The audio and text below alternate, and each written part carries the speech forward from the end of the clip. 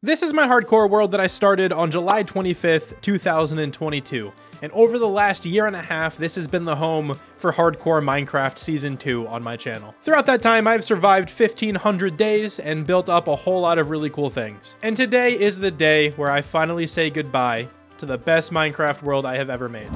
I kind of wanted to just use this video to walk through this world one more time and show off some of the builds. So why not start where this whole thing began with my starter house. I'm still a really big fan of this starter house design.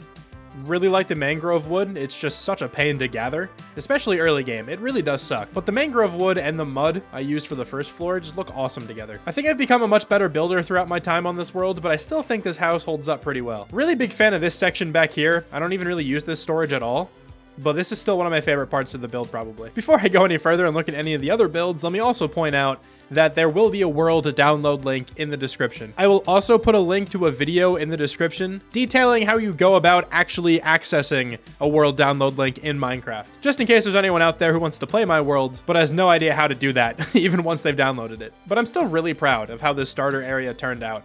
Everything is all interconnected with pathways that is entirely walkable, even up these like weird hills and stuff. Obviously, I fly around most of the time, but this whole spot is still walkable. You can go all the way around the tree. Couple different pathway designs all about, a bunch of custom trees.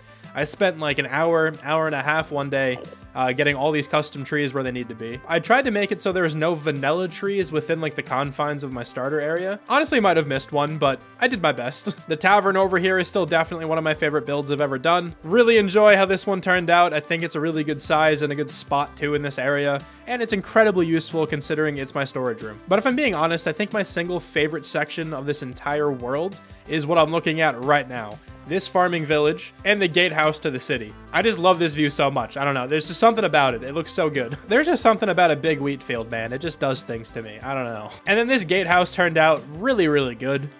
This was entirely freehand built. I didn't really use too much creative mode when it comes to this world. Like all I really knew going into this build was I just kind of knew the shape in my head.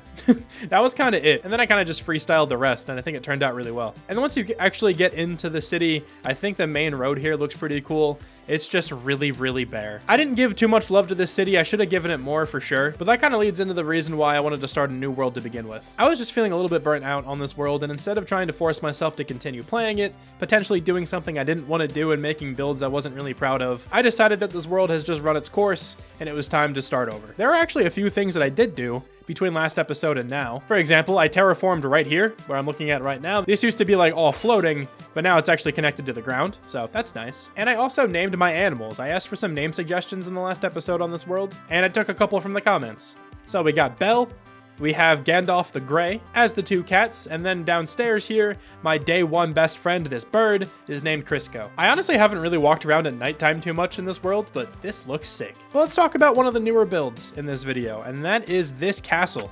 Hold on, landing this first try for sure.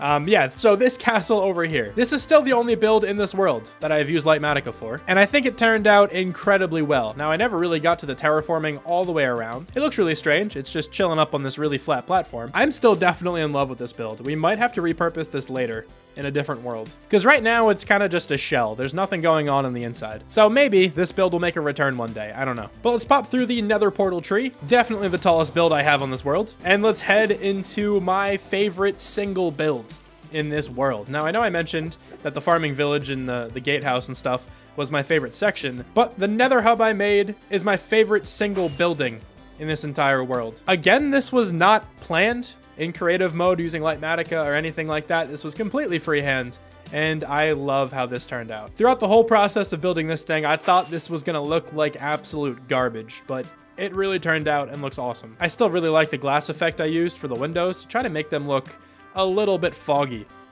Just mix some white stained glass with some regular glass, and I think it looks really cool. But now that we are in the nether, let's head towards spawn. Because here in my spawn is my most recent build on this world, my iron factory. Not the absolute best thing I've ever built, but I still think it turned out really well. One small feature of this that I'm a really big fan of is for these like copper pipes over here, which I did not wax, I meant to, but I used some of the pots just in with the rest of the copper because it just kind of looks like a skinnier copper block to me. So I kind of feel like it fit pretty well. This is also the first time I worked with some different texturing on my walls. I tried to use some shadows in some instances, like if you look up here on the top, I used some spruce wood on like the corners of the mud section just to kind of look like a darker piece of mud. Did a similar thing down here with the acacia wood and the bricks, but there's a different kind of effect going on. That's not really a shadow, sort of something else, but still think it looks nice. And then this interior came along pretty well too. Doesn't really look like a factory, but I'm a big fan of the roof, like all the foliage in here.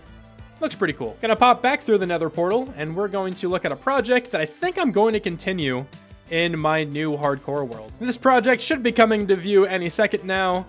There it is, my spooky village. Now I started this two Halloweens ago, and I expanded it last Halloween. And I would love to continue this idea in my new hardcore world. Now obviously not with this specific village, I'd have to make another one, but I just love the idea of adding to a spooky village every Halloween. But just like my starter area, this thing is all completely walkable. There's a bunch of decorations all over the place, a bunch of pumpkins, a couple of melons. You know, the houses here are all pretty bare still. There's not too much decoration going on, but I still think this area looks really cool. I had to walk back to my storage tavern because uh, I ran out of rockets, but now we should have enough to finish off this video. While I'm here though, let me shout out all of my YouTube members. So these are all of the people who joined my YouTube channel throughout this series. And this is still going to be a thing in my new hardcore world, by the way. So if you'd like to be named a block in that world, you can go ahead and join my YouTube channel and become a Shrambalam. I'm thinking about some other tiers I can have, but as of now, it's just that one where you get to be named a block. But shout out to all of these beautiful people. And also, I guess I should probably go through my stats before I forget. This is something I will totally forget to do. And I feel like there's probably someone out here who would like to see some stats of a 1500 day hardcore world. Now, I gotta be honest, I sleep a lot. I think I've slept probably like 90% of the days on this world. There are some YouTubers who don't sleep at all. I can't do that. Too scared to die if I'm being honest. So uh, I probably didn't get as much done as some other YouTubers. But anyway, I'll just kind of slowly scroll through everything here. If there's anything you would like to stop on, obviously you could just pause the video. Yeah, time slept in bed, 1,338. Slept for many of my days. Wait, what does this even mean? You can clean a shulker box? I've never even known of that before. Okay, that's interesting. But hopping over to the items, times mined, my most mined item, of course, is stone, just under 100,000. That's definitely in first, very much so. Second place is grass, and then dirt, but you combine those together for like 68,000. Not as far off then, but still, I've mined so much more stone than anything else. Netherrack is fourth because of my grind to get all of my netherite armor and stuff. Of course, you gotta get your spruce in there. Deepslate, probably my two most common building blocks in this world. I use a ton of leaves. Strip spruce. I've mined 10,000 strip spruce because at some point in this world I decided to start stripping my logs before I mine them. Uh, oak logs, 10,000. You know, all the blocks I typically build with. Not too many things broken here. Times crafted, a, a whole bunch of spruce planks, of course. Times used, 173,980 times on my netherite pickaxe. My axe is second, then my netherite shovel, and then my diamond pickaxe. Look at that. I used the pickaxe over 200,000 times in this world. Picked up a butt ton of stone, dropped a butt ton of ender pearls because of my enderman experience farm. Going through the mobs here, I've killed 86 blaze. All right, 282 cows, 1,319 creepers. But uh, yeah, enderman is definitely number one, 5,751. I killed a frog. I should be put in prison. Why did I do that? I really don't remember ever killing a frog. There's got to be something I haven't killed in here, right? Surely. Maybe it only shows up if you killed it, because I'm sure there's probably a mob in here I haven't killed. Unless maybe these are all the mobs in Minecraft. Actually, no, they're for sure not. I haven't killed a warden yet. So I'm assuming then it's only mobs that I've killed. Okay, well, anyway. Uh, yeah, Enderman, definitely number one. I'm still really upset about the frog. Also, way too many squid. I used a lot of dark prismarine for my builds. Also, I find it funny that throughout my entire time in this world, I only killed two sheep and probably not even one pig. I normally don't use pigs for my food. I don't know. Kind of just go straight for the cows. See, look at that. I even just slept when it doesn't even really matter if I die at this point. but I just, I'm just addicted to it, man. I can't stop sleeping in Minecraft. I'm just too scared to go out at night. I don't know. Like, I'm sure I'd be fine. I don't really think I would have died by now if I hadn't slept. Because to be fair, once you get netherite armor and like totems and stuff, it's pretty difficult to die in Minecraft. But let me head off in this direction because there are two builds out here I just want to revisit again. These are two villages I made, one birch village and one dark oak village. I wanted to do more videos like this where I made villages and biomes that don't exist. I had planned to do like an ocean one, I just kind of never got around to it, but these look really cool to me, man. I really like the color palette of this building here with the white walls and the birch roof. I'm starting to try to appreciate birch a little bit more. It was my least favorite wood type for a while. I don't know if it still is. I feel like almost any type of wood looks pretty good now. Like even that version of it looks good with this color palette over here with like white blocks and stuff. Like it adds some texture. So I might still hate on it for the meme, but just know I don't really hate Birch all that much. Uh, but yeah, everything here is completely empty. That kind of leads me into something I wanted to talk about with my new worlds. I'll probably bring this up in my next episode of Hardcore Season 3, but I want to make it a goal for that world where I do interiors for everything and I completely finish every single build. Like, I kind of pulled a Grian here in some sections, all right? Like, I did the back of these builds, but like over here, there should be a window there. There should be a stair there. Okay, didn't mean to do that. I'm so sorry, grass. There should be a stair there and a stair there and then probably a trapdoor in the middle. I just never did it. And all of these interiors are completely empty. I don't want that to happen in my next world. I want all of my buildings and all of my projects to be completely done before I post the video. Anyway, small tangent aside, let's move on to the Dark Oak Village, which is connected via pathway to this Birch Village. And I really want to build in this style again.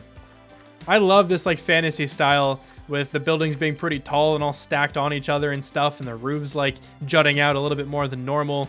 This building looks pretty cool. This was kind of supposed to be a library, um, but you know, once more, no interior at all. Same goes with all the rest of these houses, of course. And then we have this little mushroom patch in the middle. But let's pop through the nether portal again, because there's another build out in this area that I want to showcase. And this is absolutely a farm I am going to build again. This is my guardian farm with a really sick tower on top of it. What with an entirely different tower design from what I'm used to. I typically just make them like completely straight up, getting smaller as they go up. This one I decided to make it like really jut out far on the top and I think it looks cool. But I went with these like floating islands that are like super overgrown and grassy and stuff like that.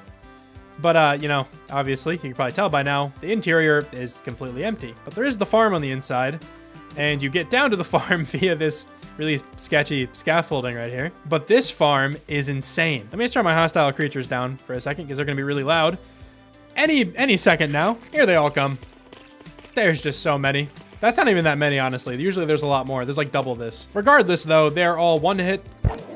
You get so much experience. This is how I've been healing up my tools ever since I built this thing. Dark Prismarine is one of the best blocks in this game, in my opinion. So having a pretty easy way to get part of the crafting recipe is necessary for me for sure. And funny thing about this build, I didn't clip any of these glow berries. So if I stayed here long enough, they'd all just go all the way down to the ocean. I honestly didn't even know that you could clip them when I was building this thing, and I just never bothered going back to actually do it. And yeah, those are some of my favorite builds that I have on this world. I've had so many great memories on this world. I mean, somehow the YouTube algorithm really liked what I did on this world because my YouTube channel grew a ton throughout my time recording this series. So I'm insanely grateful to have had this world. Thank you guys so much for deciding to stop by, for deciding to subscribe. It honestly means so much to me. And if you liked this world, you're going to absolutely love Hardcore Minecraft Season 3. Episode 1 has already aired, so if you haven't seen it yet, feel free to go check it out. I plan to make that world bigger and better than this one. I don't know if I'm going to be able to do that because, I don't know, this world's just going to be so nostalgic to me for so long. I feel like I'm always going to have some kind of bias towards this one. If you want to watch my entire journey, though, on this world, I do have three movies, each spanning 500 Minecraft days. I think it totals like six hours of content, so if you're looking to kill a lot of time, you know where to go. but thank you so much for watching one final time. I really hope you guys enjoyed everything I did on this world, and I hope you're looking forward to Season 3 of Hardcore Minecraft. I'll talk to you guys soon. Bye.